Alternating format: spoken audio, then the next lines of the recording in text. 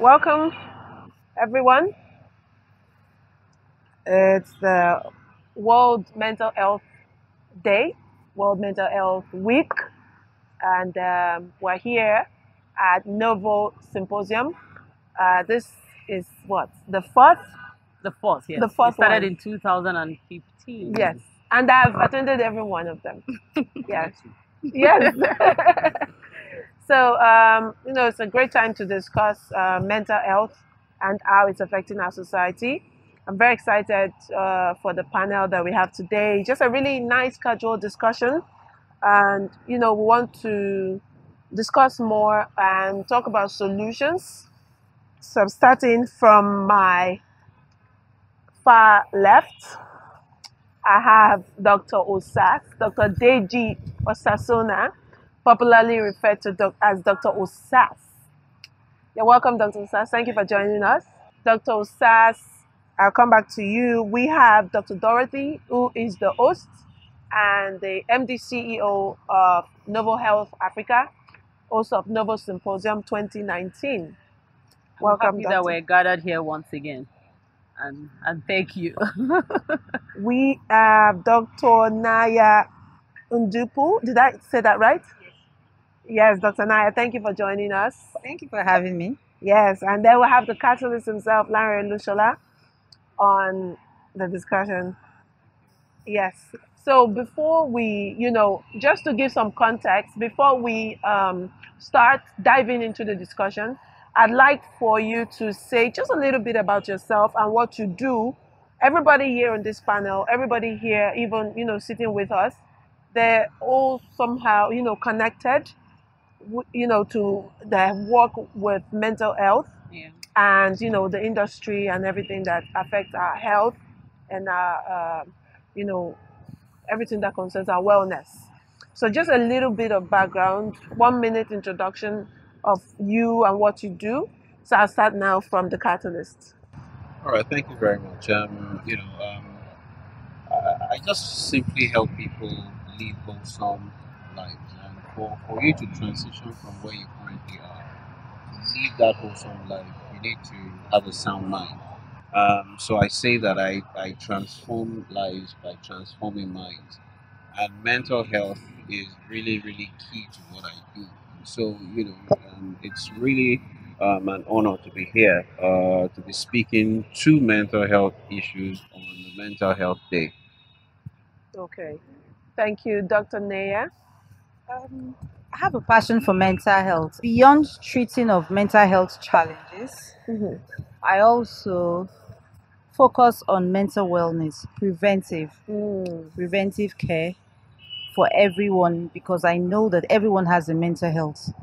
And over the years, I have come to realize that before people get to the point where they have to seek for treatment, a lot could have been prevented. So mm. that's why my focus has been more, more of interventions, early stages, even before things deteriorate.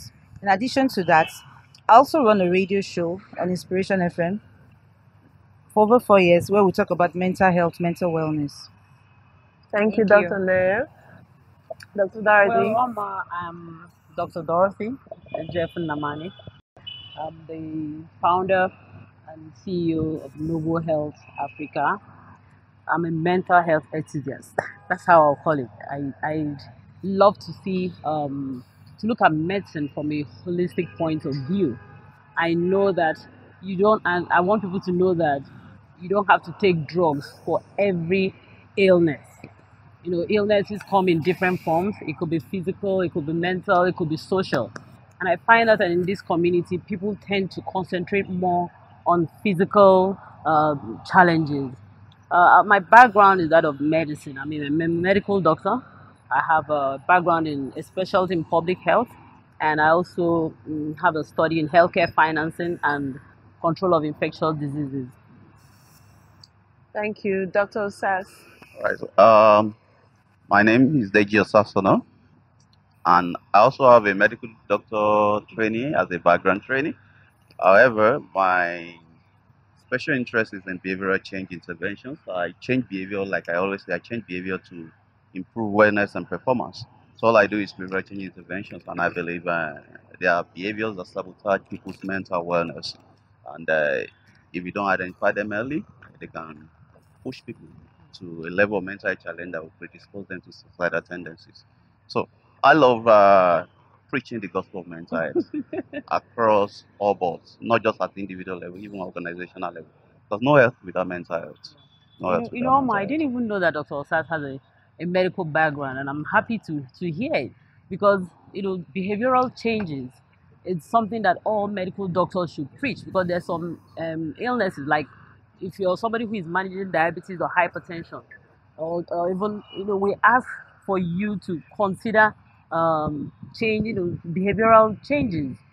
So those are the things that can help you manage something like diabetes So just want us to dive in based on the theme for World Mental Health Day, which is on suicide prevention. Um, what what do you think, you know, about the rates of uh, suicides now compared to before and now that we're seeing, especially 2019? What do you think, Dr. Sanz? according to World Federation for Mental Health, also same goes for World Health Organization. Uh, in, for every 40 seconds, one person dies of suicide, and uh, that's crazy to know because just right from the time I was asked to answer the question means someone has died Mm, of suicide. yeah. That's incredibly high. And uh, it makes matters worse when you realize that suicide is a preventable challenge. It's a preventable challenge with the right awareness and with the right expertise. And all hands up beyond that to mitigate this growing monster because it's really a growing monster. Uh, gone are those days when we think of uh, suicide as something that happens in the West or in the Western world. Uh, we have it around us. And uh, it seems as if people are becoming bolder to actually take their own life. And uh, unfortunately, also, uh, you just need to be on Instagram and some specific Instagram handles that I can't mention the names to read about the comments people give whenever there is a news about a suicidal attempt or a successful suicide. Just need to read through some of the comments. At times, by the time I get to like eighth, ninth, tenth comment, so irritating that uh, I just switch over. I switch over to another handle straight away because the level of ignorance, the level of unawareness. I mean, I can give a couple of examples. Uh, for example, committing. Are you the only one in the country that you are committing suicide? Ah, if there's a suicidal attempt, let's say it, was a parasuicide or a suicide that wasn't successful, uh, you hear you read comments like, "Let him take his life now. He won't go, let him go now. Ah, sniper didn't work. Let him use this now." And it's just, I see it as a lack of knowledge, awareness, and ignorance, essentially, because those that are commenting that way they don't know also. And I think it's our responsibility, those of us that know. Let's do our part, and uh, that's why I commend Novo Health Africa for what they're doing. Kudos to you. Thank you very much. Dr. Neya, you work a lot in preventive, um, um, you know, interventions and to ensure that, you know, it doesn't get to the stage of that. But from your experience, why do you think people commit suicide? If we're able to treat as many cases as we see, then we can prevent. Another thing we have come to realize is that there are people who are at risk of things like this, Mhm. at risk for suicide. And so when in the course of um, preventive, we are able to identify people who are at risk. So there are some things that would make you at the risk of a suicide. And then for people like that, they should be closely monitored. There should be better interventions to help them. Okay. Uh, thank you very much for that. With your definition of why people, um, you know, commit suicide, uh, Catalyst, I'm going to ask, do would you say, with all the things she's listed, you know, would you say it's a loss of hope and the feeling that there's nothing here for me anymore? As in, living is dying is now more enticing than living. You know, summing all the things that she's listed. I mean, um, you know, um, let's say that ninety percent of all suicide cases is uh, result from depression, and and if you break down, uh, you know, the construct of depression is, you know, gloom, doom, um, you know, despondency, hopelessness, uh, sadness. Um, you know, you can't see any reason to live for. And, you know, going back to what Dr. Osaze said, you know, I- if you if you know the feeling, if you felt the feeling before, that's the only time that you can understand why the choice of death trumps the choice oh, Of of life. life. You know, and for people out there that don't understand it, all you just need to think about is this, right? Why would someone get to a point where they choose to take their own life rather than choose to fight to live? Have you, if, if you think about it, think about when you are killing a goat or a ram, even a, a chicken, how hard that chicken fights for. And even after you slit that chicken's throat, that chicken is still Still fighting. moving. Mm. So, you know, to take a human life is one of the most difficult things to Then to take your own, own life, life. by yourself, it, it it cannot be an easy decision. And for someone to make that decision, it means that you know they're not thinking right. Um, emotionally, they're not in the right place. Yeah. Psychologically, they're not in the right place. Environmentally, they don't feel like there's any support Yeah. there's any hope. You know, they don't feel like anybody loves me. In, in fact, quite a number of people have said that then they will know, then they will feel my pain. Mm. You know, because they don't feel like anyone around Yes. them is supporting. Understanding what they're going You know, through. is understanding what they're saying. You know, when they've spoken to you about how they feel, you will tell them, I beg, black people don't go through this. Ah, you are weak. hmm you know now and, and so for them also they found enough justification to end a life than to give life or to fight for life so Mm. it is one of the most difficult decisions um, and it shouldn't be taken lightly at all now speaking to you know environmental support it is important for you know family members friends to really be aware and observant. You know, we all need to go and understand what the symptoms are because, you know, it's closer than we know. They say one in five people in a lifetime will suffer from one, one form of Mental health or the other. Yes. So it may be you, it may be your sister, it may be your brother, it may be a member of your family, it may, it may be your best, your best friend. And if you do not know what the symptoms are, then you don't know what to do. Now, you need to, you know, acquire the knowledge and, the, and understand the symptoms and begin to observe. Because someone that is suffering from a mental health issue will not check themselves into a hospital hmm you know, very unlikely. It's not like when you have malaria or when you have high blood pressure, you start to feel uncomfortable.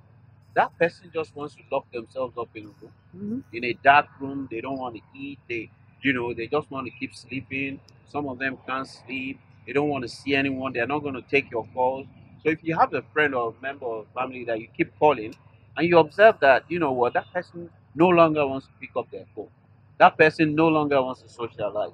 That person no longer wants to leave the room. That person is sleeping, you know, um, unusually. Then you need to begin to ask yourself, hmm. Then listen to the kinds of words that they, you know, the kinds of things that they say. Oh yeah, you know, uh, you don't love me. There's no reason for me to live anymore. You know, um, and, and and and they start to speak hopeless words. Then you know that there's something. At, at that point, you need to get help for them because they're not going to check themselves in.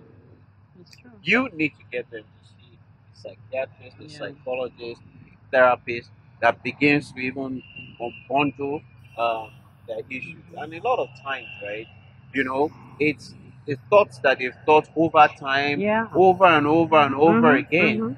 that compounds it. You know, focus amplifies. And so you on the outside may be looking at it and, and saying that, "Ah, but everybody else is going through that problem now. But you don't know how they've thought over it, they've regurgitated it, they've meditated on it. And so they've amplified the issue to such an extent that it's so overwhelming. They can't think of anything else or make any decisions. And, it's important that I also say that every decision that we make is based on an emotion. Mm. And so if your emotions are negative, limiting, disempowering emotions, then your decisions will be negative, limiting, disempowering.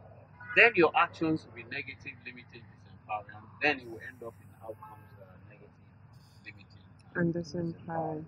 So just to add to what um, coach has said, um, the the decision to commit suicide, like uh, I think Dr. Saz also mentioned it, is is not something that happens uh, immediately. It's not an action that somebody just thinks about on the spot. It always has to do with you know a lengthy uh, time on depression. You know, you say somebody who has suffered depression because even somebody who's suffered um, a level of depression is a depression that has gone deep and over a long period of time. So there's no way somebody around a friend or a family, uh, a loved one would not have noticed that this person has changed. We'll talk about those changes late, later. So, so the, the thought, suicidal thought, is actually a symptom of depression. Mm. So so we need to know that we have responsibility towards those people. There's something that is called survivor guilt. That is the guilt that we ourselves feel when somebody we know commits suicide.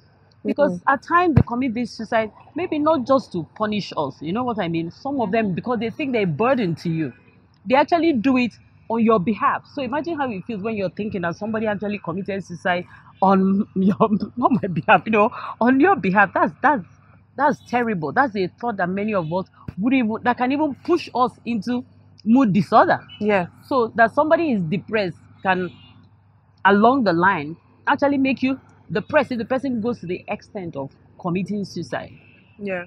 So we need to know that we have that responsibility because I I, I know that sometimes people will see like some friends I had were talking about uh, suicide um, prevention, Prevention. and it's like how does that concern me? So it's not just about somebody who has committed suicide.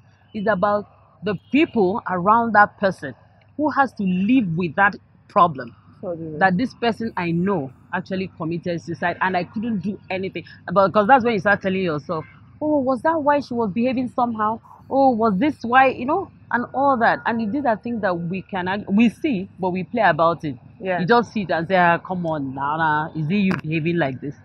So you could have been more. So let's take it serious, knowing that mood swings in time can actually progress to somebody having suicidal thoughts. And from a gender perspective, women are three times, you know, more likely to have try suicide attempts than men. But men are four times more likely to succeed. Mhm. You know, to succeed in suicide attempt and actually commit suicide. Mm. So it's something that um, it's good that you know this World Health Day, which is tomorrow, that this has been brought to the fore, and we can talk about it, knowing that it's actually depression, anxiety, and all that actually leads Leads to, to suicide. suicide. People start Yeah. it's a mood disorder. People start thinking irrationally. So Mhm. if you're not having suicidal thoughts, don't even try to imagine. So don't don't push it away when somebody is saying things like, "I don't want to live anymore." Uh, Shebi, I will soon die. All of you will be will be okay. Because yeah. we hear sometimes I want to exactly. So let's know that you can't imagine how that person is thinking. So don't try to understand it. What you should do is to immediately get the person some help. Fantastic. On on that note, I want to ask you, Doc, um, what age, what age range, what's the common age range, you know, of people that commit suicide? Is there any um, Yeah. um, Uh, based on statistics, uh, the leading cause of death between the ages of 15 and 29 years is suicide. And uh, there are certain age grades that have been notoriously known uh, for high rate of suicide. Teens, uh, elderly is above 65, especially when there's a loss of a loved one or companion or a loss of a major life investment. And uh, so just to quickly add something, because uh, there's something I experienced uh, in the last one, two years I know uh, I've seen or heard very common with Nigerians. Maybe because of a highly religious tendency. Uh, so there are some signs of suicide uh, that I think uh, specially developed. Uh, for example, let me give you a classical statement. Uh, you will not see this most likely in textbooks or online that is, as a source from the Western world. For Mm. example, when someone, there was a time uh, that was uh, like two different buildings collapsed within a span of one week in Lagos. And there was a I lady remember. Yeah. that someone called me to talk about uh, what do I think. I said, please don't stay far away from that lady. And what happened? When the lady heard about these two buildings that collapsed, just like a joke, the lady mentioned that, know, this building we are in now collapsed. What's the big deal? Hmm. That's a that's a clear signal of societal tendency. You hear statements like from very religious people now. If rapture is even happens now, it's even better. Let's just end everything and escape this shameful. That's a signal of societal tendency. Some will say, I just want eh? to escape everything. I just want to escape everything. Or statement like, I can't keep eating my own wahala, my prayer. I can't keep Exactly. suffering these family Mhm. members. Mhm. That's a signal. Don't leave that person alone because, like uh, the catalyst mentioned, most times suicidal tendencies in people have already hijacked their sense of reasoning and Yes. judgment, and most likely they will not seek professional help themselves.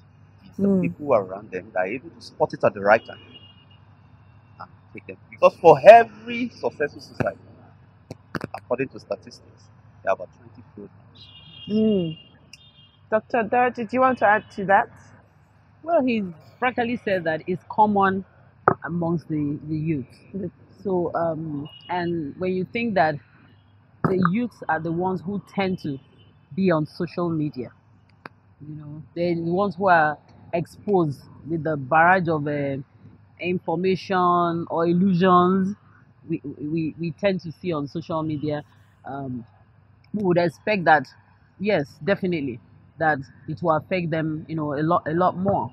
So it's it's higher, it's higher in youth between that age range of 15 to 29, and also that's because they're also the ones who are confronted with both emotional issues. It could be somebody who boyfriend left her or the girlfriend at that at that age, especially the young adults now. You know, if you if you're over 21, you didn't talk about the younger.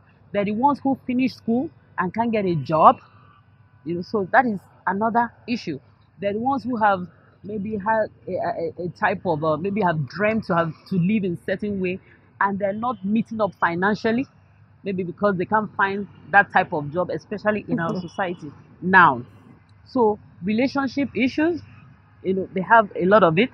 Um, financial issues they are also you know most affected. And uh, emotional.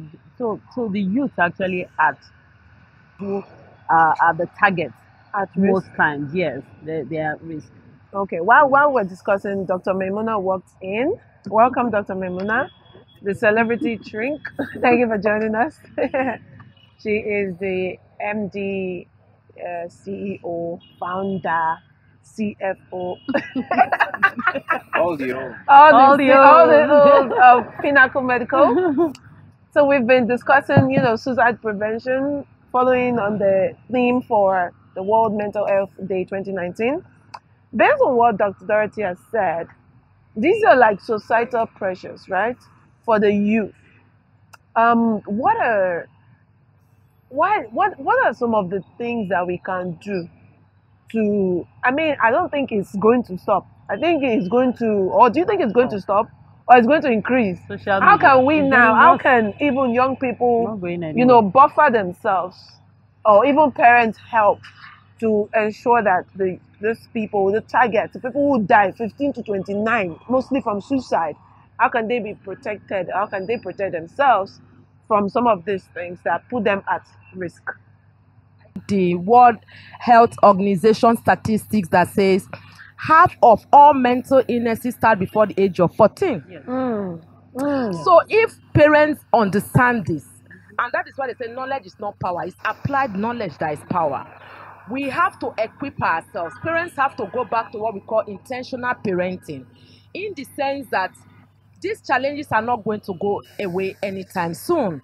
there are going to be more. Social media will increase. In fact, new things will come up every day. So, how should we parents equip ourselves in such a way that our children don't have that huge sense of, of entitlement that they are having right now? There's no longer what we call delayed gratification. Children want it now, they want they don't care Mhm, how you want it. So, and children don't just get to learn these things now. It's from what we write. Children come in with a plain mind. What we write in, in their mind, the school, the society, everybody. So what we deposit in them, we have to change that narrative. And by doing that, going back to intentional parenting, going back to the fact that spanking and beating is not the ultimate, let's discuss. Let's talk about it. Come up with superior arguments. You are not saying that you are no longer a parent, but you are letting it, letting that child know that this is good part, this is wrong part. Let's create mental agility for our chil- children. Let's create resilience. We because we didn't eat three times a day, or we ate without meat. Now we have money. we now want to kill our children with excessive meat, or we want to make sure that we close down the slaughter to bring the cow to the house. Everything the child wants, we are giving the child. But the workplace, the Ajegule child will be in the workplace. The um, Cambridge child will be in the workplace. The Mushin child will be in the workplace. People have grown agility and resilience, and they have street intelligence. You that pampered your child, that gave your child everything, will be in that workplace. How will that child thrive? We shouldn't only preach surviving. We should preach how we can thrive above all these trials. So the onus lies a lot on parents and parenting and getting it right. Because even children, because of Google and because of social media, they easily go on the net and check for symptoms of what they are experiencing. And it falls in, oh, I'm depressed. Then they go to the mother or the father or both. They start casting and binding. It's not our portion. Shut up. You have a roof over your head. You, uh, you have clothes. you Do you know how much I pay for your school fees? We start, you know, going on and on. We have to learn the skill of listening non-judgmentally instead of listening to respond to our children. I'm an expert, and I see children come to me every now and then. So my own parenting style has changed. I won't sit down say because I'm an expert, oh, so I know what will happen. I don't have to wait for a crisis. Now we sit down to dialogue. I come up with superior argument. When I know I'm losing the argument, I will form as if I'm not too fine. And can we can do this topic another time? Then I will go and equip myself because the children they have they, they, in fact they are ten times ahead of Of you. you, yeah. You should be thirty times ahead of them. Bring mm-hmm. life experiences. Mm-hmm. Let your children also know that you you are failed to go because it's not one way now to parent a child. Though. If this is the way, and if you have two, three children, they are thinking Different, different. different. It's, it, it's so difficult to parent now that you will need parenting seminar every now and then. If it is coach, coach, how you bring your girls? My daughter has reached this stage. Uh, Dr. Ondupo, how? Uh, Dorothy, you know, say you be our senior. Your children, they undergo. We never reach there. How- You know, you have to find ways and also monitor your children, sound them out. Don't compare.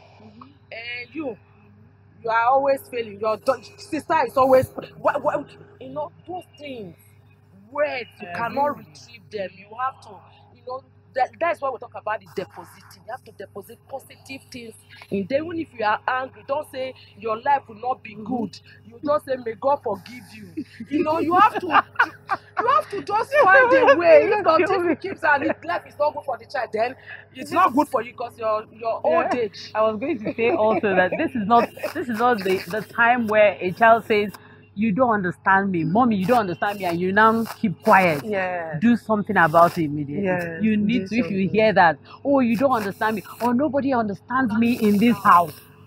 That is serious. Make sure you leave everything, change everything, turn things around, and start understanding that child Okay. is sending you a message. It's not like when we were growing up. You dare even not tell your, your parents, you don't understand me. That's I mean, nobody, they wouldn't even hear that. It's just you don't have the guts, we don't have the liver. But this time, this time we're in this social media age, if you ever hear you don't understand me or nobody understands me in this house. Nobody listens Please to me. drop everything and run because they're going to go and look for somebody who Who will understand them outside and woe betide you if that person now wrongly understands them. You're, Okay. you're, it's finished. So I'm going to throw some. I want to discuss some of the myths that are um, associated the, the with suicide. I'm going to throw some words at you, just really quick succession, and you can explain, right? So I'm going to start from the catalyst. Um, people who talk about su- suicide won't really do it. As a as a myth, what do you think about that? So su- suicide myth. Look, it is better that you are wrong than Yeah. to realize that you didn't Mhm. listen and they did it. Because, you know, once they commit suicide, you cannot take it back. That person Mm. is gone. And another thing that I wanted to say is oftentimes, you know, people that commit suicide hear voices. Mm. They, and you know, some people are like, what kind of voices are they hearing? Let me give you a typical example. You don't want to buy those pair of shoes. You know you don't have the money. You know you can't afford it, but the last money in your pocket, eh, is the one that you want to use. Some voice is telling you don't buy, because when you get home, wahala good day. Some voice is telling you buy. That same voice that is telling you to buy. Meanwhile, you know that you shouldn't buy, right? But you remember that uh uh you are going for a wedding, and that your friend that was always oppressing you I just told you that she bought a pair of shoes. Then you want to keep up with the shoes. That same voice tells you buy, and then you buy. If you can succumb to that kind of a voice, imagine the repetitive voice of it's time Somebody. to take your life. Mhm. You know, nobody loves you. You know, there's no point staying alive. Your, your life is hopeless anyway. And that's the only voice that they keep hearing repetitively, right? You know, when you, you know, talk about that myth, that myth, once you hear it, please, as a parent, you know, as a friend, as a member of the family, do something about it. Okay, Dr. Naya. Um, the other another myth I want us to look at is people who commit suicide are crazy, or people who attempt to commit suicide are crazy. That's not correct. And the reasons being that we know that, like Alice had extensively talked about, they're at the point where they are hopeless. They're at the point where they feel this is the only way out. So, and sometimes you don't, yes, we know that if you're severely depressed, you could have a bit of psychosis. However, for some people, the mere fact that they are depressed doesn't even have to be so severe. They are depressed and they don't even see a need to go on. I can't deal with it. Mm-hmm. Then they begin to contemplate putting an end to this. So I have we have seen in practice I have seen in practice where this individual is not psychotic, he's still in touch with reality. But you know what? I can't function. I can't go to work. I'm unable to concentrate of what use is this life. So that's very that's incorrect. actually it can actually be, be treated. I mean, when their loved ones show that they care and, and all that. And research has it that in in about it takes some for some people it happens in two days. They actually get corrected, but for most people, in in weeks, in few weeks they're they're better. I don't know. Maybe uh, Dr. Muna can help us, you know, throw more light on on that. But it is a myth. They can actually be stopped and many of them you know go through there's even the, the last minute thinking that they do before commit suicide there's something that is called the death mark Mm. which is when people start calculating the number of years they still have to go based on their ancestral uh, uh, what they have seen. Maybe their father their grandfather and all that. And then they're calculating and saying okay with this my issue i have 20 more years. Going by let's say the people in our house live 60 years. Uh, the person is 40 so the person has done that death mark and say okay i have 20 years should i now commit this suicide within these 20 years or should i wait so there's some irrational thinking they think but it's irrational so there's some Oh. irrational thoughts exactly that that that goes through it and at that point before the person commits that suicide the person can be stopped so it's a myth to say that if somebody wants to commit suicide that That nothing commit- can that stop nothing them. can stop it. That's not true. Something can can, Dr. can do a lot to stop it. If people who die by suicide are people who are wi- unwilling to seek help. Uh, like we said earlier on, I think we also talked about it extensively. Uh, someone that is already at that stage of having suicidal ideation, uh, which uh, can mean the direct ideation or the indirect one, like the examples I gave, especially in religious crime like Nigeria. A lot of times, a lot of people, regardless of their education level, they are not even aware of the signals. Then again, that's what we call the risk factors. There are certain risk factors.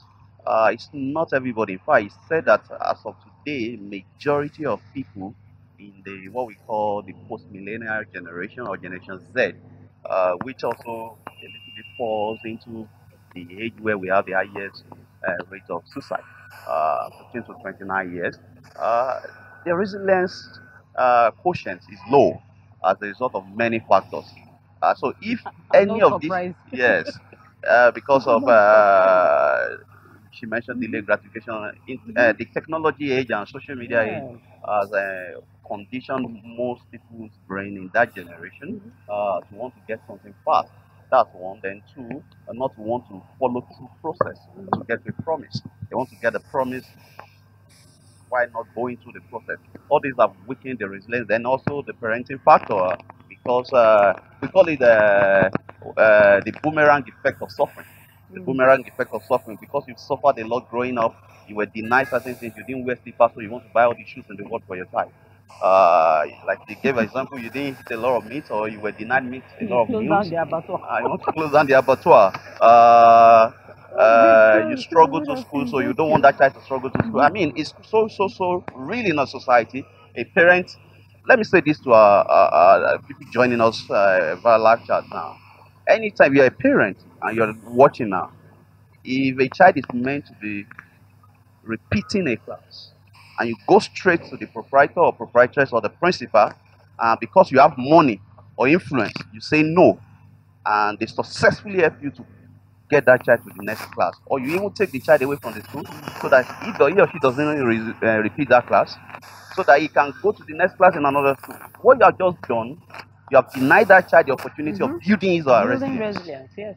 One of the best ways to build Survive. resilience is guided response to failure, Mm. and that's why Guided parenting, intentional parenting is very key. So resilience quotient is actually low in this age grade. So there are certain risk factors if such a person within that age grade, 15 to 29 years old, or elderly after 65 years, exposed to this risk factor, sudden loss of a very close loved one, uh, a relationship breakdown that been part of the life of that person, a loss of a particular desire, it could be promotion, it could be academic success, especially academic pressure is a major issue. I wanted to add to it the other time, but I just decided because of time. Mhm. Because academic pressure, I was a study I was involved in. Let me just quickly take this in. Uh, so, a private school, let me not mention the name, and uh, we got across a couple of private schools in Lagos. So, we just a simple questionnaire among the secondary school students. Uh, what are the top four sources of success? And by the time we collected, we collected over 3,000 3,000 responses. And uh, we chose the top four. Academic pressure was number two. Academic pressure. And what a lot of parents have failed to realize is this. That be it out of love for the kids. But anytime you are trying to, one, compare a child that is doing well academically with a child that is not doing that well academically, you are collapsing the resilience, capacity, and the self-esteem of that child.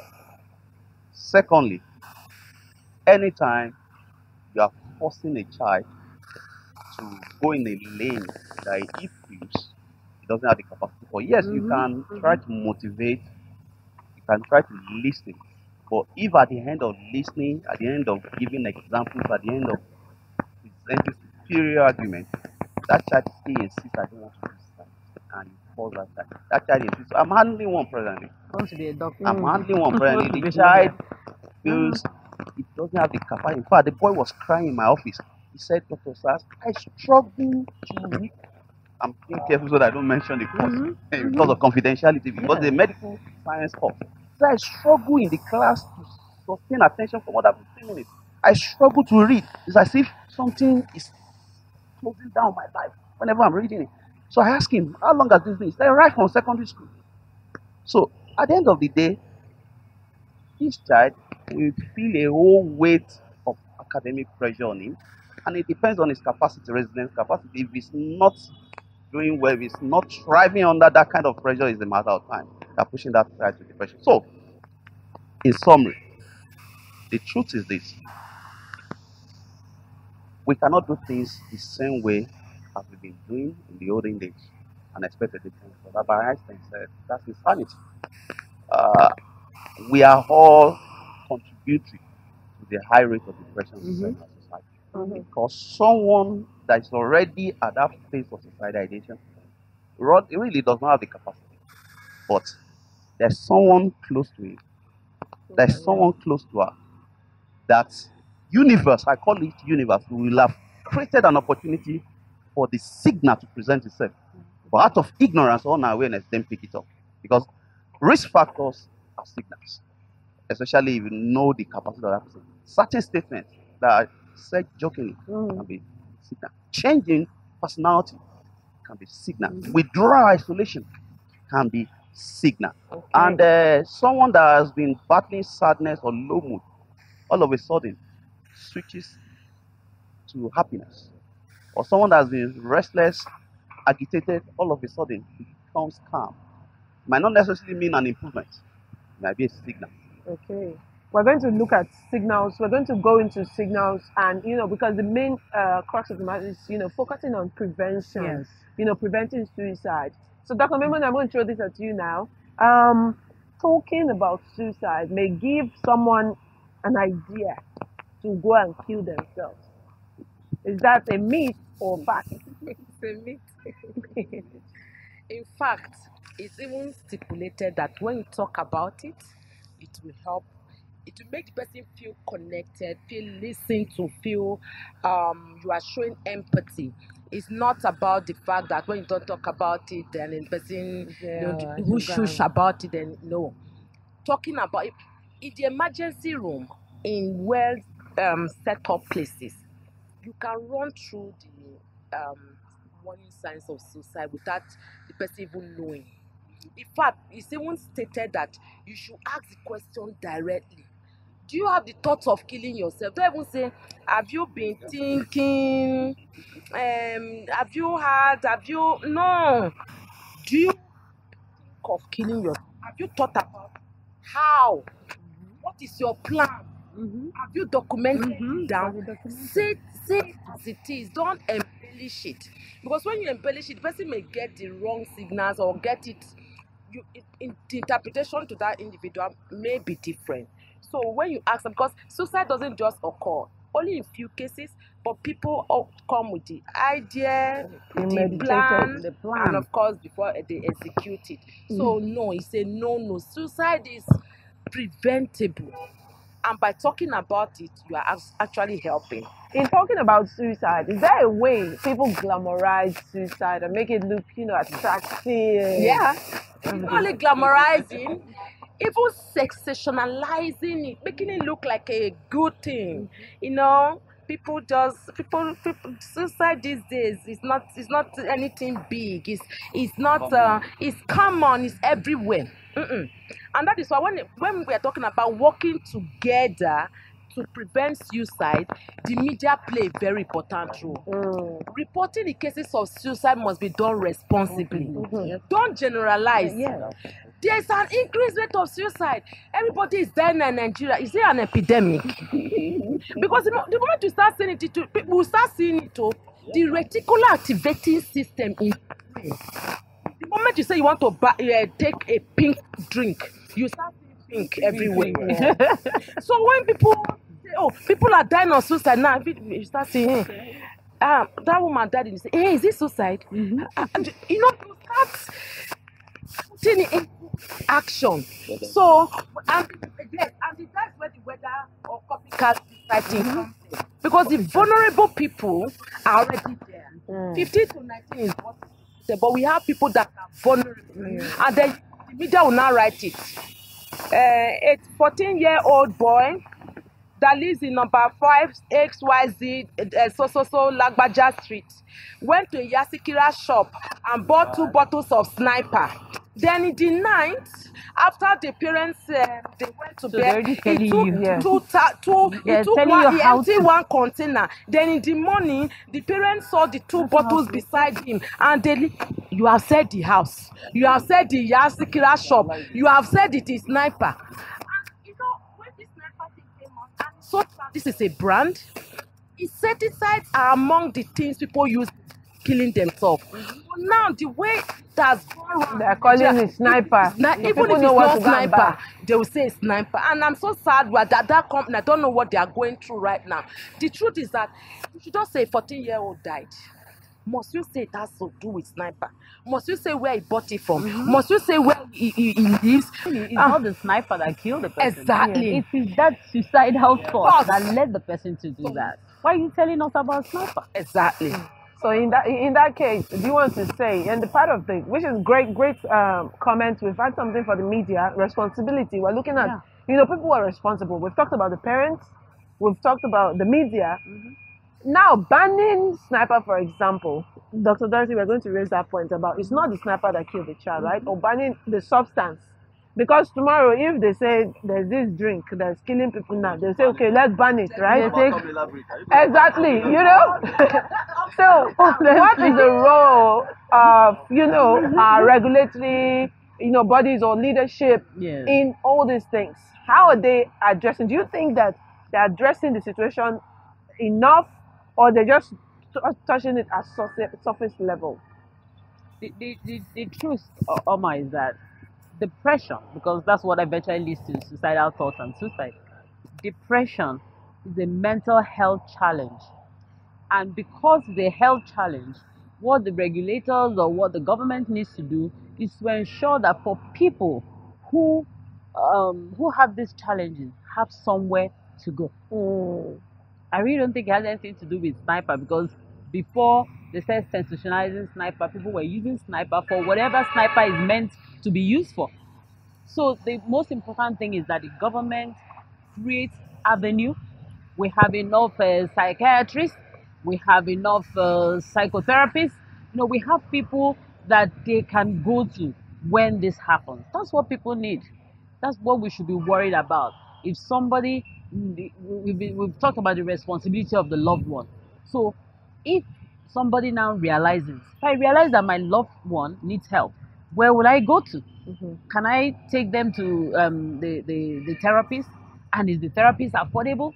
That's when you now start talking about ability to pay. That's where healthcare financing now comes in. Can we can they actually pay? Because you have an existing one, but the problem is people don't have the means to get to them because it's, it's a specialty. So government needs to look at making it, uh, you know, available. They need to make it available, both the medication. So people who need to take medication will take medication. Because yes, you can talk to your loved ones, but when you finish talking to the person, What does that cure it? You know, does that really cure it? If the person needs medication, the person needs therapy, the person has to go to therapy, and it's not one session, not just they will go for sessions that cost money. So our, our our government needs to look at the health system and make sure that from the primary level, the, the referral system works, people can actually have access to those because I find you know sometimes people will call me, oh Dr. Dorothy, your mental health. This, this if people actually know what to do, they will just go through the system, go from the primary provider, go to the secondary, and be able to get to the therapist. Mm. And but it has to be paid for. So mm. we need affordable healthcare. That's the simple. Affordable Yes, healthcare so with mental health covered. Mental health should be included in um, the the essential, you know, the basic healthcare. It should be it should be basic. It's not something that only uh, rich people can afford. It's not something that somebody sets up some fine drug um, uh, rehabilitation center and the only people who have money can, can it's not something that look at our schools how many psycholo- how many schools have psychologists i remember when i was in queens college we had a, a psychologist You know, but how many schools now maintain psychologists? So that's the we need affordable healthcare and mental health should be inclusive. Fantastic. Yes. Just to add add to what to that, Dorothy yeah. has.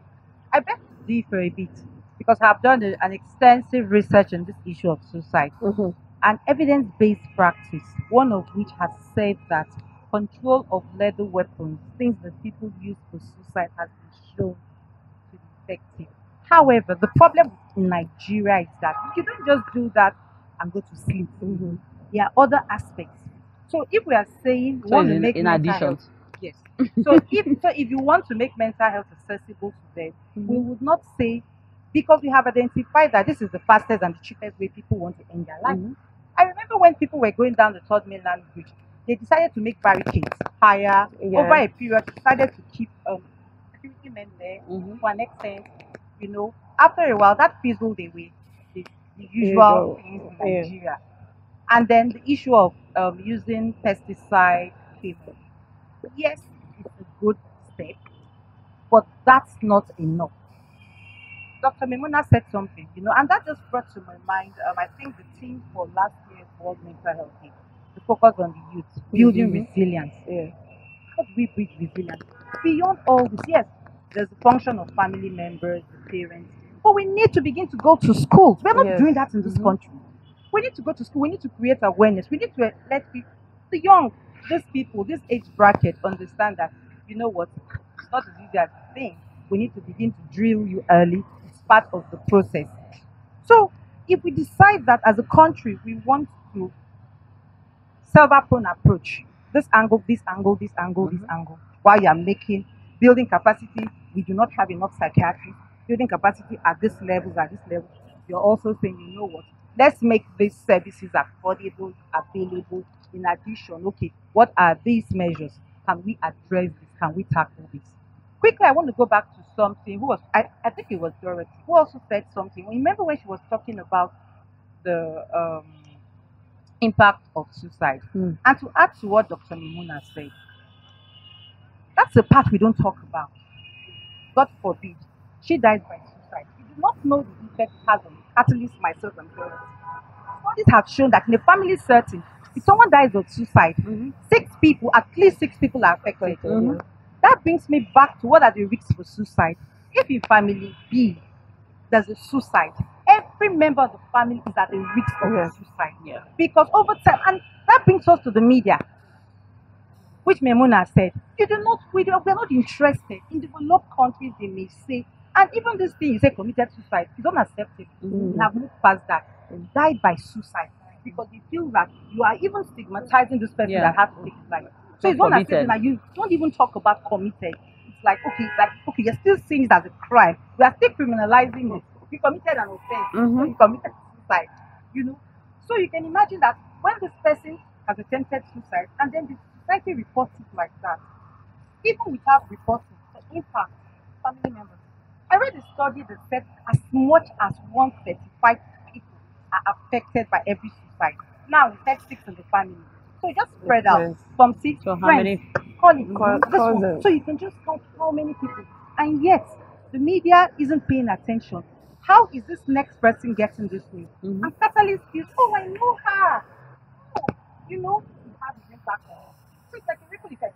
Mhm. So it It wide range, which is why it's also an, a way of addressing and preventing suicide.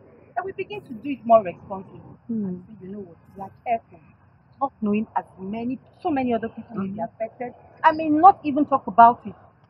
As Maymunah also said, you still have the people who just they have they feel gingered. Okay, Miss they have done it. You know, yes, there was a mm-hmm. time it was happening, and everything was uh-uh, is this the latest in Lagos?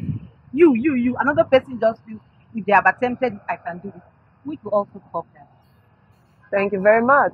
Um, to add to that, there was, I think it was last year, there was a, a famous uh, person in the UK who committed suicide. If you see her Instagram, she was always so bubbly. You know, it felt like she had the boyfriend she loved. She was just happy, and she killed. You know, she she she died. And when she died uh, by suicide, um, the boyfriend would on Instagram say, "Oh, I can't believe you'll be quoting on, you know, you left me. And then- I want to be." And people, if you people are just so, you know, the empathy yes. like, oh, look at this one, attention seeker, da da da da da. And guess what? The He guy, committed, yes, killed himself. died by suicide. Just maybe, what, three, four days after our funeral, Mm-hmm. he died. So now let's talk about, because this is about prevention, let's talk about how can you help somebody close to you? What are, how do you read the signs? What are the actions you should take? I'm going to start with you, Catalyst, because we're looking at how to prevent, how to help. We, you know, you know the signs, you know what they should do, but the normal person who is just dead, you know, what are the things they should do for people who they know, friends, family members, and all, and all that? I mean, I always go back to this. Uh, you know that people need to take responsibility. Responsibility for their lifestyles. responsibilities for the things that they do. So I often, you know, say boost your dose of dopamine Mm. because if you have a healthy dose of dopamine, oxytocin, serotonin, and endorphin, right, um, it will help a lot. So as family members, you know, um, are you ensuring that you eat foods that are, are rich in? Are you ensuring that, you know, you you gift them massage? Are you ensuring that, you know, collectively you you exercise? Are you ensuring that, you know, early in the morning you go for early morning walks and, and get your daily dose of vitamin D? Are you ensuring, you know, that, you know, you spice up your meals? Are you ensuring that you guys sit on a daily basis to have a at least one meal, a family meal, and when you have that family meal, you can talk about your real life. Are you ensuring that you know you are sharing your vulnerabilities and your own challenges? You know, because a lot of people hide their own challenges, especially people in leadership. When we mm. People, religious leaders, you know, leaders with, in, the, in the office, parents, um, people in positions of authority, you hide your own challenges, such that when that person in real time fa- fails, they think that really and truly is the end of the world because it seems like they're the only ones that have failed. When people begin to share their own failure stories, and we all have it, when people begin to share their own challenges, when people begin to share their vulnerabilities, when people are truthful about their real life challenges, right? Then people will realize, really, really, it's not just me, you know? And so it is important for you to understand the critical lifestyle changes that you need. Music, the kinds of music that you're listening to, you know, and the millennials, you know, it's technology and isolation from relationships. That's why one of the reasons why a lot of them are prone to, you know, mental health issues. 24 7, you're on your phone, you're on your iPad, you're in isolation, mm-hmm. you're watching series 24 7, mm-hmm. and you fail to have, you know, relationships with people. I mean, there is a way that God designed it that we need one another, and no man is an island. And so you find that, you know, you just go to the office, you do your job, you leave the office, you're not interacting, you're not engaging, you don't want to interact with anyone, you just want to be playing games on your phone, you know, you get home, you just want to be watching TV, you you know, you just want to stay in your room, you know. So a lot of a lot of these things, right, are lifestyle issues that we need to understand what we need to do.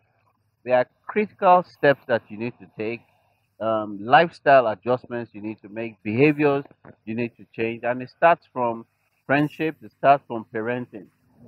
If the statistics is pointing to the fact that you know what, you know the youth are taking their lives, then the question that we have to, to ask ourselves is, what are the parents doing wrong?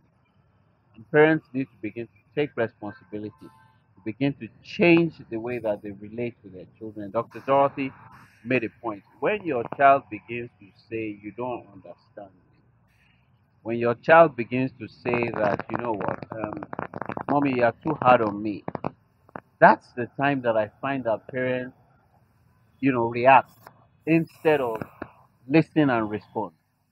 Stop reacting as parents. Listen. Ask yourself, you know, what can I do differently?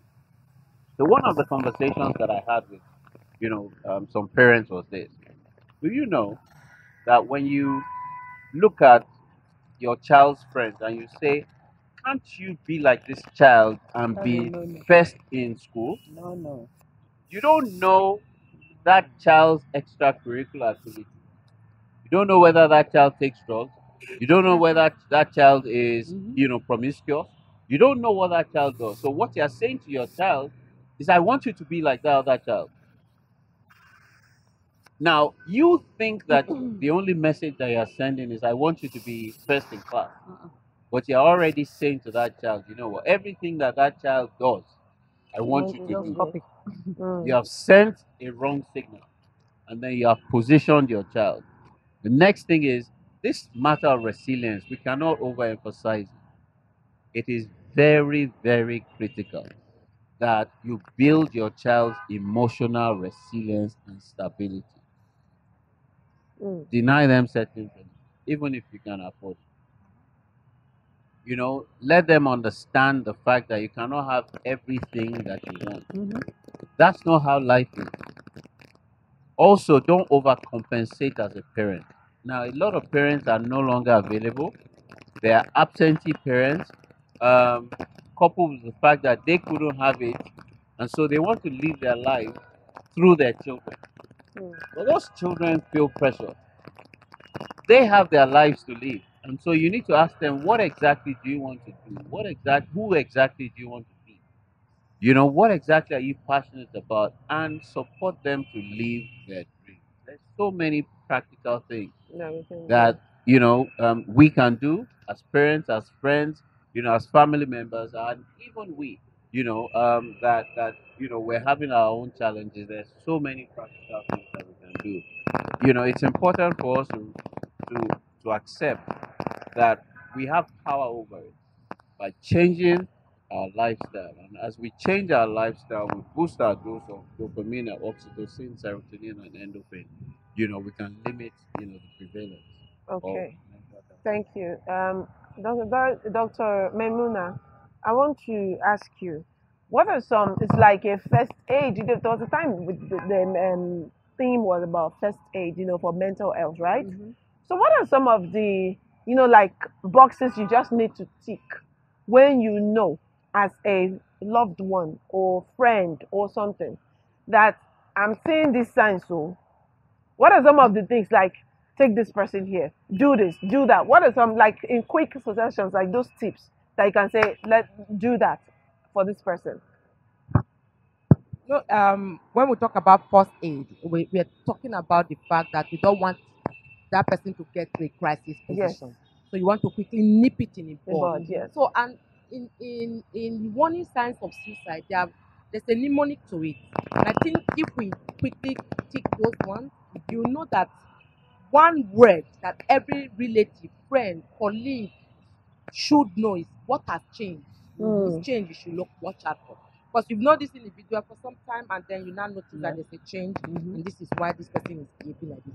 So the suicide warning signs, which is very categorical, is classified with a beautiful mnemonic is, is part one. I-S part, P-A-T-H, warm, W-A-R-M. I is the ideation. You know, and that ideation can come with if I die now, nobody will care about me. Mhm. Eh, if I just die now, people will even be happy safe. You know, those things. So you have to look at that quickly and say, okay, this person, or do you want this bag? You know, this person ordinarily will not give you this bag. And you like it, and you can have it. They start You their they start sharing away. things, they start even writing will. The S there is substance abuse. Eh, Whether you are using before or you didn't even use at, at all, but now you are now using or you are using mm-hmm. excessively. So alcohol intake, marijuana, all that. You have to also check that, tick that box. The P there is purposelessness. They mm-hmm. just feel as if they don't have any. I don't. have My use in this house is not valid. There's nothing for me in this office. So I'm just. I feel useless. They, they don't have a sense of purpose. Become a potato They- couch eh, yes. or you know They just cover the classify blanket, you know that out. kind of a thing. And the a there is anger. For any little thing they just blow it out of proportion. They can even get to a range. Why is that person behaving that way that the person is behaving? The thing here is trapped. The person feeling trapped. Feeling everything is an effort. Feeling that there's nothing they can really do and then the H there is hopelessness. So purposelessness hopelessness. They feel hopeless they feel worthless they feel nothing is good in life. This is pink. Eh are you sure? Abeg i'm just tired. Let's go for a party. I'm not interested. But this was the i know one bad kind of person before. The w there is withdrawal. And you know that this person is a social person. All of a sudden he's not even communicating. If he's in a meeting he's not talking. At home he's not coming for the round table meal. He's just withdrawn and maybe room bound or mm-hmm. office bound. Then the A there is anxiety they feel anxious they even feel agitated they feel restless and all that. The R Yeah. there is recklessness they go into risky behavior. They just they just they drive speedily they don't care they are reckless about their lives. And of course the M there is mood changes which is unhappiness low mood and all. So if you see all this and you quickly want to help this person get ar- around this and no this is what use the i'm very good with mnemonics i uh, that is and i think that's the only way uh, if we get that it's very easy to put it. Use the icu the icu is identify the problem. So what is the problem this person is dealing with? By the time you tick all these warning signs when you identify it the cds connect with this individual. Whether it's a child whether it's a brother whether it's a colleague at work connect with that individual and the you there is understanding the way forward. Now you have identified the problem. You have connected with this individual. What are you doing about it? You listen to the person not judgmentally. You tell the person for the past three years we've been working together. That you've been like this. Very good very this very that. But in the last one week and your last two weeks i noticed this this this.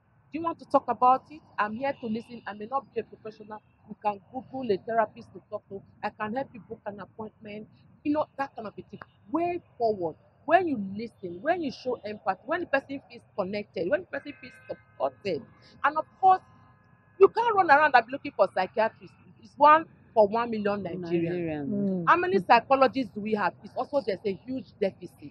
How many hospitals do we even have? Facilities that you say you want to take people to. So all that help you, the trusted family member, can do your own in your own little corner. The Because when you do that's the first aid. It's like the way you there's a wound and you see the person bleeding and person may not even know he or she is bleeding. Like, ah, you are bleeding. Come on, we have a first aid box here and all that. Mental illnesses doesn't present that way. Is that change you see in that individual for you to now say there's something that has happened over time? Because when we think, the way we act, and the way we behave, is the same person at home, the same person in the office, the same person in the salon, the same person in this hotel. You can't take it away from that. place. So once you know all that and you're able to connect and help that individual, if you have the chance, book the appointment, go with the person. Because the, the highest risk for completed suicide is a previous history. So if somebody has ever attempted um, um, suicide before, to complete it is, is easier because uh, because when they when they do that and you assess, sometimes they they are telling you um in fact, I, I'm not happy I'm alive. I, I don't want to be alive. So those are the things that can give you those signals to say, okay, this person needs help. Not like trivializing the person's challenges and say, look, are you the only one that uh, that they are feeling? No, if you hear all our own stories, eh, your own is small. It's not your story we are talking about. It's this person's story. Don't trivialize. It can make person feel as if he or she doesn't have. Thank you very much. That was quite helpful. Um, Dr. Sass, how can a suicidal person seek and find help? Dr. Uh, Maymunah has already, you know, alluded to, uh, you know, just pointed out the fact that really we have one to one, one to a million, One million. in Nigeria, which is a scary thought, you know. But how can, in the midst of this scarcity, how can someone who's suicidal, who feels really depressed, because there's some people who actually know that they're struggling and they come to ask on social media, for example. Mm-hmm. Even I get a lot of, you know, DMs or messages and they say, I need help. How can they find help? All right. Uh, just quickly add something that is crucial to the line of discussion.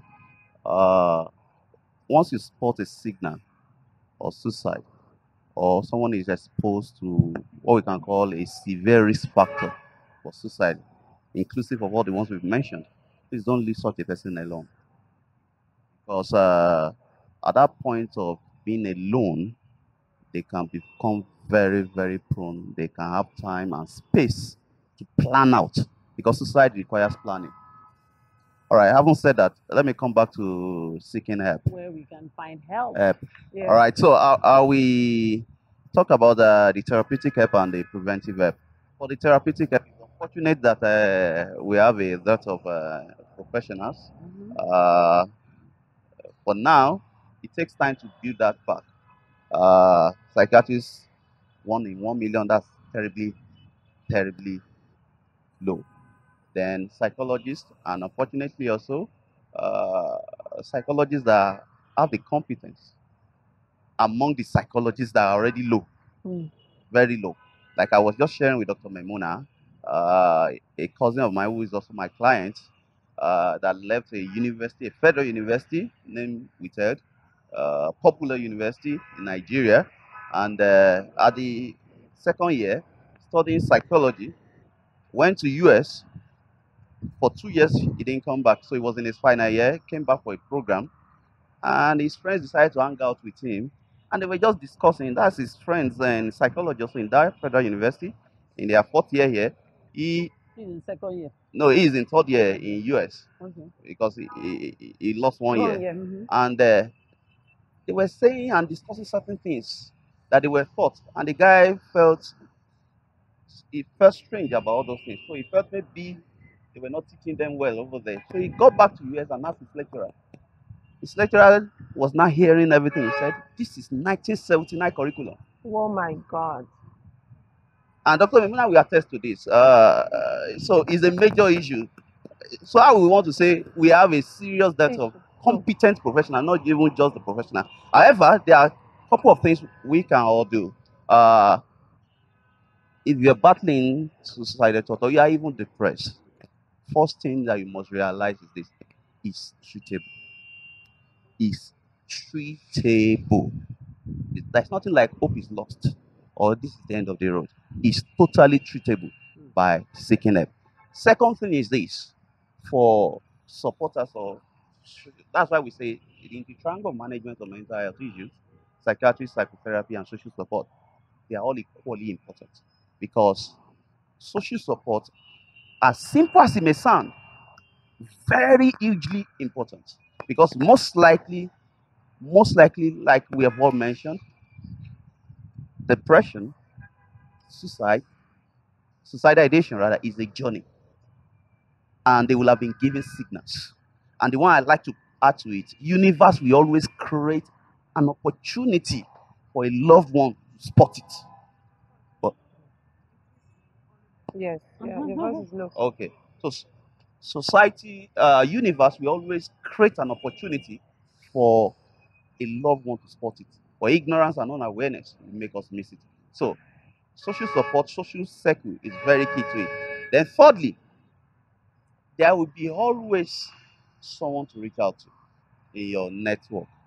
Don't accept that it's not treatable. Once you know and realize that it's treatable, there will be always be someone that you can reach out to. However, if there's not somebody, just go to any hospital and speak to a doctor that you need a referral to a mental health professional. Just go to any hospital and say, Doctor, please be careful. I will say this with all due respect to religious leaders. Be careful with seeking help from religious leaders. There are some of them that are very good. They are well aware about mental health, but there are a lot of them that are ignorant of mental health. And I, I say this with all due respect. Uh, I've seen a lot of cases. You say come- religion, both orthodox and non-orthodox, because not only just the orthodox.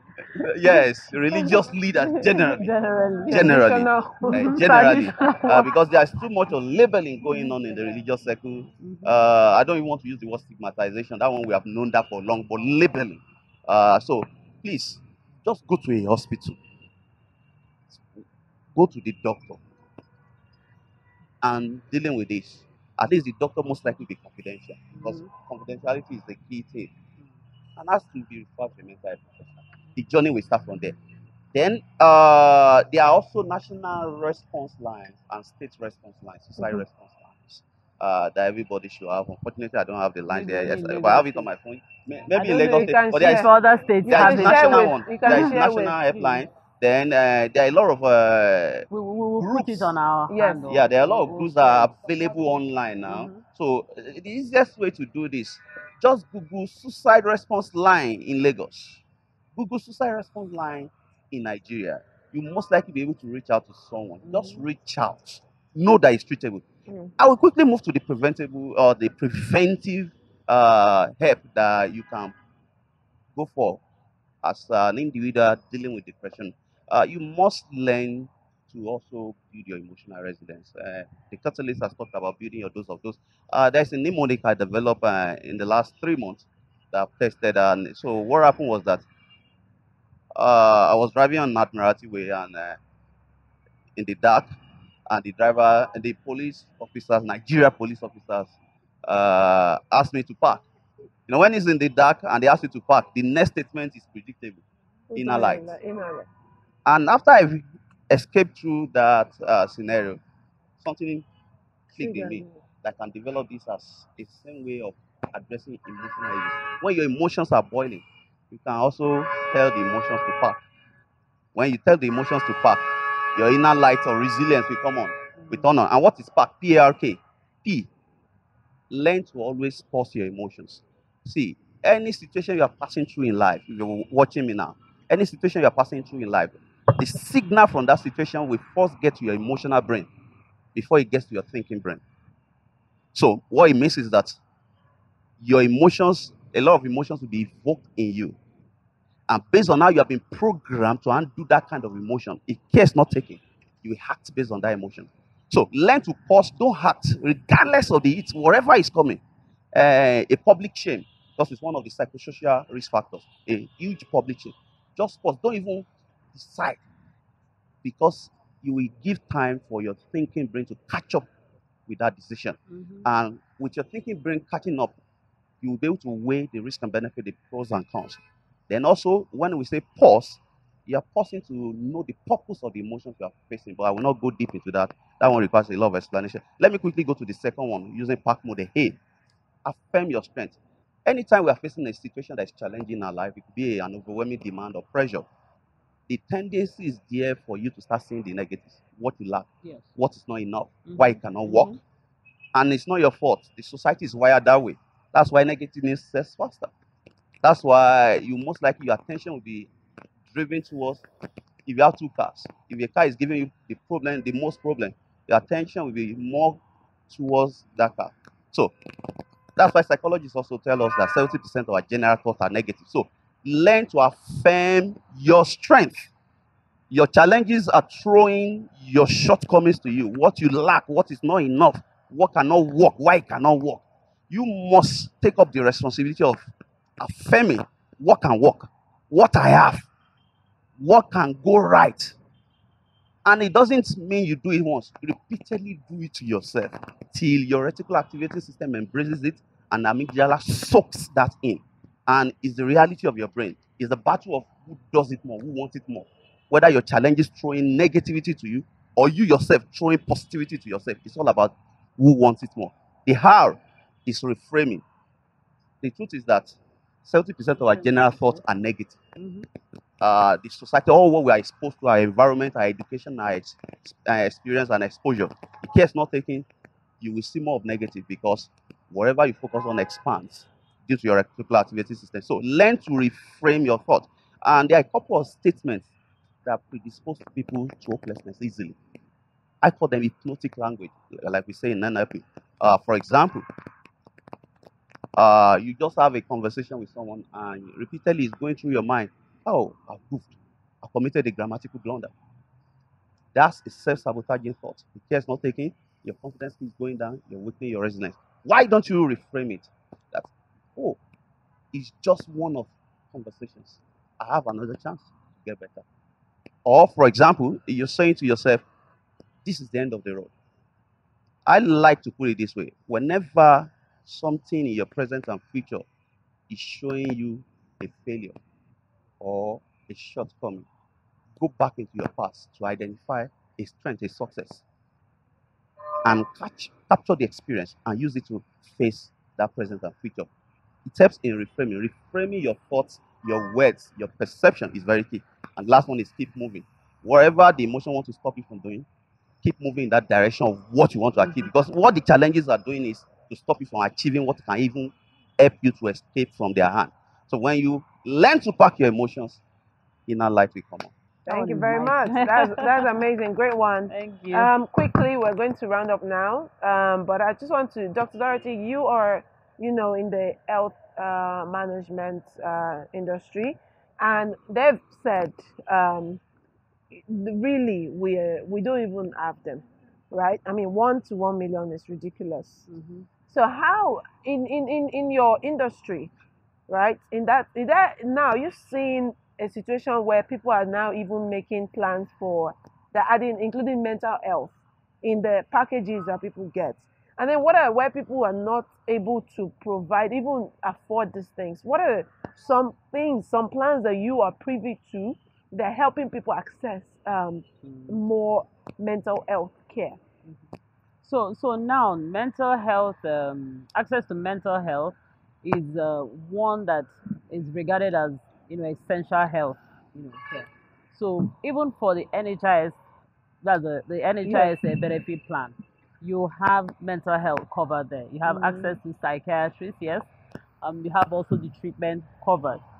Um, I think the problem is with people taking responsibility of their health and actually investing I may be saying you know it depends on the opportunity what, what you what you prioritize you see somebody carrying uh, an iphone probably that's worth hundreds of thousands and the person doesn't have health insurance so so that's true person doesn't have health We insurance don't have the culture. so if if Nigerians would prefer, let me not go into that because we don't have Mm, have yes. time. But the, the thing is that we have uh, psychiatric care, we have um, even behavioral uh, uh, what do you what do you call it? Behavioral change management. You know, so it's all there in the package, whether it's public or private. But people and the public one is as cheap as fifteen thousand naira per person per year. So even if you if you want to invest on that just for the mental health package, you can actually buy it and leave it only where you need access to a psychiatrist. And so you now take that route, like just like uh, Dr. Saz says, you go to the doctor, they refer you and all that. You'll be able to see a psychiatrist. and this is available in all um, this is affordable. NHIS Park is everywhere, Everywhere. and it's fifteen thousand. And how can, can people buy access it? Some people don't know. How can they get this NHS? That's why you have HMOs. Mhm. Your HMOs work with um, NHIS. So you can buy it through your HMO. You can, the, the NHIS is a, a regulatory uh, body, but from the HMOs, you can buy, if you don't want that one, you can buy the private plan for the HMOs. Okay. So there's the health insurance that covers it. So you can do that. so we need that. to as make low that as fifteen thousand as low as 15,000 Go to Novo Health So and, that's, and that's that. the cheapest. That's what the government has brought and is, is affordable and is available. Okay, so please go get that. Now, uh, Dr. Naya, final words, final words, very, you know, briefly now, what you want to say to people watching, people here, um, about, you know, suicide prevention. You're very much into the preventive measures. So what, and treatments and all those things. What are some last words on, on this? every time we talk about suicide, for me, it still brings us back to mental wellness. And really, what is mental wellness? When mental wellness starts with self care, mental wellness starts with self awareness. If you don't have self awareness, self awareness is when you know there is a change. Mm. I used to sleep eight hours. Now I barely sleep five hours. That's a change. Some people still do not know what self awareness is. Self awareness will encourage you to self care. And then with self care, you would have mental wellness. Mm. you. Thank you very much. That's so good. And you can follow uh, Dr. Naya to get some of these self uh, care and wellness uh, tips. How can they follow you to get those? On Instagram, Naya Ndupu, and on Twitter, Dr. Naya Ndupu, as in Naya, N A Y A N D U P U. Okay. Thank you. Okay, Catalyst, what are some of your, you know, one last word for people who are here on prevention and suicide prevention? I mean, it's important that you know that you know um, your life is yours, and speak You- out a bit. You only have one life to live. Um, never give up. Uh, keep on keeping up. Mm-hmm. Um, life is sweet. You know, everyone has a purpose, Mhm. and you know, at the end of the purpose. day, you know, God is gonna ask you, what did you achieve with the time that I gave you here? So learn to, you know, live your best life and and and do the best that you can do. Uh, also important that you know, as a lifestyle, you you have a therapist, you have a psychologist, you have a life coach that helps you look at your life. You know, don't wait till when you have a problem Mm. oftentimes by the time you design your life and you take control of your life right um, you know you'll be doing the right things you'll be having the right perceptions you'll be thinking right you'll be living by the right ideologies and beliefs and values um, you'll be living your own life another thing is you know people compare themselves a lot to other people and um, you know uh, people want to live other people's Life. lives so you think that the grass is greener on the other side but guess what you know it not it never happens that way live your life live your best life take control of your life and get support uh, get psychological support emotional support relational support environmental support professional so professional keep a social set Yeah. network. you know just get support and get help and, you know you can find me on social media simply at Lanre Olusola, no H in it. Okay, I'm going to come back to you to share your um, uh, social media handles and one last word. But I want to meet Awa. Awa is you're young. We've talked about you know the suicide, uh, the most common people who die mostly by suicide. It's the leading cause of death for 15 to 29, age 15 to 29, and you fall in in, in that you know age range. Um, and also you are, you do a lot of mental health uh, work. So, what are your thoughts on everything that we've said and some of the preventive measures that we can look at for young people? Um, so I think the discussion has already been very, very rich. You know, from prevention to challenges Can't hear you. to first aid.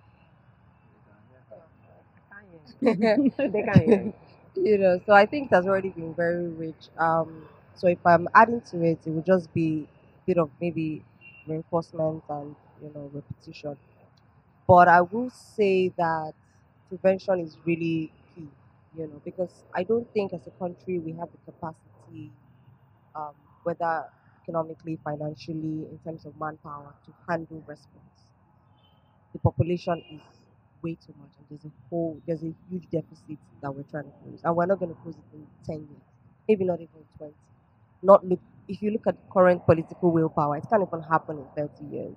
So it's very important that we begin to shift a lot of our attention to prevention.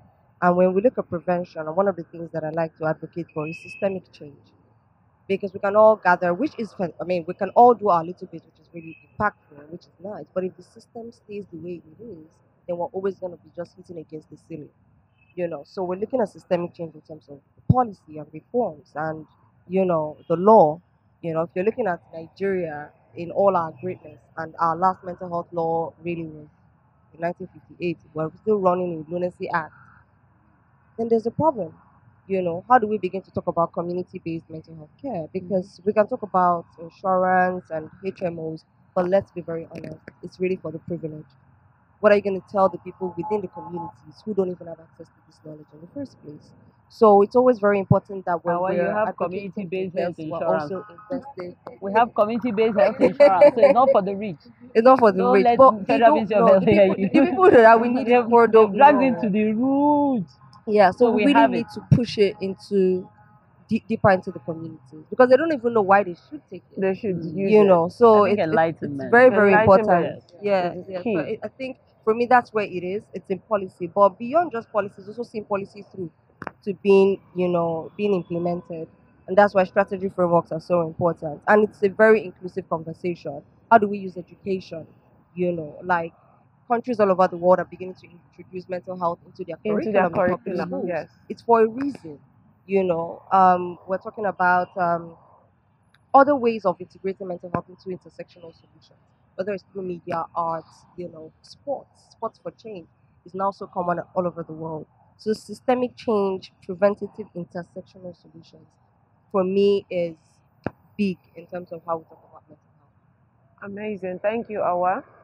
I would- Thank I you would have much. wanted Howard to say more. Like You the know, challenges. special appearance. Yes, some of the challenges people are looking at for the young we're people. talking, and Mm. it's like it, somebody might feel maybe because we, we we are professionally qualified to talk about it.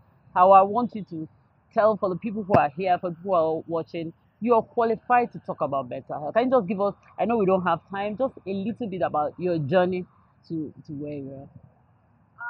So just to put it in very, not to go into too many stories. So how we say it now is, I'm an expert by experience. You know, so um, of course I live with a mental health condition, and I have had two near suicide attempts myself. So I understand this from the other side, as you know, the service user or the person who is being referred to, whether it's in media or conversations like this and it is seen sort of you know the entire angle you know the entire journey of going from being this person who was thriving and you know living life to going to this point where there was a breakdown to coming out of it understanding the challenges are, are around it that has given me sort of maybe a unique or kind of a different perspective on how I look at mental health as somebody who has been there. So for me, it's always about advocating for conversations So, and also ensuring that with every step that we take, that we are not excluding the people who actually live with mental health condi- um, Exactly. conditions in the conversation. Because I think a lot of times it's very easy for us to get to a place where we think we know what people need mm-hmm. and it's such an arrogant thing to do, but a lot of us do it. No, like I know, I mean, so people were here. So what we need is that we need to just give them awareness, and Mhm, uh, like, have you talked to the people that you're trying to give a solution to to ask whether that's exactly what you want? You know, so it's very important that at every step of the way, whether it's in policy, whether it's in care, whatever, it's always a partnership between whoever the party is and people who live with mental health condition. And for me, that is really the core of what we do at She Writes Woman. It's Mm. ensuring that people who have mental health conditions are empowered enough about their own mental health Mm-hmm. conditions, their own journeys, mental health generally, and can also bring meaningful, you know, contributions to the table as well, irrespective of what it is. Okay, Thank I want so I wanted to ask Hauwa quickly, what is the what in your opinion? What is the biggest challenge uh, that you think from your experience, also from interacting with young people, that you think young people are you know going through, that's making them susceptible to you know wanting to uh, Having uh, you know suicidal thoughts and yes all that. having suicidal thoughts and being depressed and all this. What are some of the, the biggest challenge? Um, biggest challenge. We've mentioned a lot. I've heard Mhm. a lot already. for young people that from yes, for young one people in particular, challenge. I think they are not being heard enough. I don't feel a lot They're of times they have outlets to Mhm. truly be heard. There's one thing to speak and talk and chat and post on social media. Yeah. That's one thing. That's not proper conversation or communication going on. People want to be heard. You know, like sit down and listen to me. Exactly. Just what I'm saying matter. You know, they want to feel like they matter. They want to feel like what they're feeling is valid. And what we constantly have is a society that constantly tells young people that, you know, you don't know what you're saying, you are this, Mhm. I beg you, you know, that kind of thing. And it causes a lot of pressure because you people may not know it. Like I sat down in a conference recently where I was a, I was the oldest on the panel because we're all we're all on the same on the same board, but I was the oldest on the panel and most of my colleagues were from the generation Z. So that's typically like 20 years and below, you know. And when you sit down and you hear their kinds of challenges, and I'm asking myself, I'm just how many years older than you people, and I And you can't relate. You know, so I can only imagine what your parents are having to go through. Listen to these things they are saying. So they'll just be so like, what are you talking about? Is that a problem? But a lot of times it's that the world has changed. The world in which we were born into is very different from the world in which our parents were born into. And generations are changing really. You know, so if two people are five years apart, trust me, they're older. Mhm. And this generation is struggling to be heard. They're struggling for a seat at the table Mission. they're struggling for validity. And I find that when you just give young people the opportunity to just speak and be heard, Mm. it's so powerful for them. Like it feels like half of the problem is solved, and they Mm. just put them at the seat, you know, put them at the seat on the table, and let them run their own solution. Yeah, so yeah, for me that's I think that's very that's very Yes. very insightful and very helpful. Insightful. and I hope that you know uh, people are listening. And so, um, thank you very much for sharing that. How can people find you? Um, I'm a She Writes Woman at She Writes Woman across board Instagram, Facebook, Twitter at She Writes Woman. She writes woman. Mhm. Thank you so much. One last word, Dr. Dorothy. One last word. Short, 15 seconds. Oh let's let's keep creating the awareness every opportunity um, have a get together is an opportunity to create the awareness on mental health health, health is not complete without mental health there is no health without mental health Thank you very much. Dr. Osas? Okay, uh, for me, I would just say this. Uh, uh, my favorite quote: uh, "What gets us stuck in life, essentially." Sorry, my favorite quote: uh, "What gets us stuck in life, essentially, is actually less of what we don't have control over, and more of what we have control over." Mm. Uh, however, a lot of times our imaginations deceive us to think uh, what is really getting me stuck and pushing me to hopelessness is what I don't have control over. Uh, I put it this way, like we put in energy psychology. Universe will not allow what is beyond your capacity to comment, and even scriptures, both Quran and Bible confirm this. So please, wherever the challenges you're facing is what will get you through it or get you out of it is actually within your control. Just shift your focus away from whatever you don't have control over and shift it back to what you have control over, your response to the situation. And I believe uh, it's a matter of time. A lot of things we are in a rush to get out of, they're actually designed to build us. It's just the Mhm. pain might not be easy, but just like labor pain. A woman that is in labor, if it, she decides that I don't want to pass through the, the pain, the baby The will baby die. will come. So it's about to birth something in you if you endure the pain, and it you and don't see it as negative. Focus on what you have. Thank you very much. How can people find you? All right, on Instagram at dr underscore SSZ and on Twitter at DROSSZ. So Twitter DROSSZ. That's Dr. Osas. Yes. Instagram dr underscore SSZ. Dr. Dorothy, how can people find you on, on social media? you have started again every time okay the instagram is uh, dorothy jeff jeff ed dorothy jeff ed and twitter is uh, dorothy j she knows all by that why don't you just say it? eh? just say it she knows it every time she's waiting for me to forget my Dr. Maymunah. So your last word. Yes. So my last word is take care of yourself. Take care of yourself. Take care of yourself because a healthy body will give a healthy mind. Yes. Connect with people is very essential. You're not an island. Live in the present. Tomorrow has gone. Tomorrow, um, um, yesterday has gone. Tomorrow, don't be worried about. Live now and then take one day at a at time. the time Most importantly, please let's ask for help. Mhm. Mm. Ask for help because once you ask for help, the person next to you may just be the solution that you have you look you've been searching for in Sokoto, meanwhile it's in Sokoto. So for us, those are very key. And um, health, like you said, is wealth, and obviously there's no health without mental health. So every day, get up, dress up, and show. up. Show up. Oh, lovely. Nice So one. across board, I am Dr. Maymunah. I am DR Dr. Across all board, Facebook, Twitter, Instagram, LinkedIn. Thank you so much. Been such a great conversation, very rich conversation. Um, I, for me, I want to. I believe in when we have conversations like this. Let us have action points. Mhm. It's not about. It's good to talk. It's great to have the conversation. It's great to create the awareness. How can we now go on, take actions, and do something? I believe that everybody sitting here, we have, we have the capacity. We have some sort of leg in Mhm. to be able to push for some policy, even if it's just Lagos State first or something, and say, we want mental health. Let's start having that conversation. Mental health being taught in secondary schools as a course, you know, as a subject. Mhm. Yes, mental health education. So let's that's my own charge to all of us, everyone here. Like let's push for some some of these things to help because we know that this treatment oh, we don't have it just now. It's not enough.